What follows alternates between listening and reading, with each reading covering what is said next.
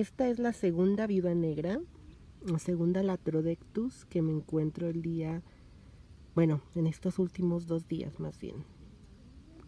Y creo que por ahí había un macho, entonces muy probablemente van a tener muchos bebecitos.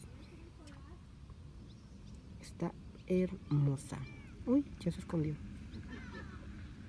Ya se escondió. Es muy tímida.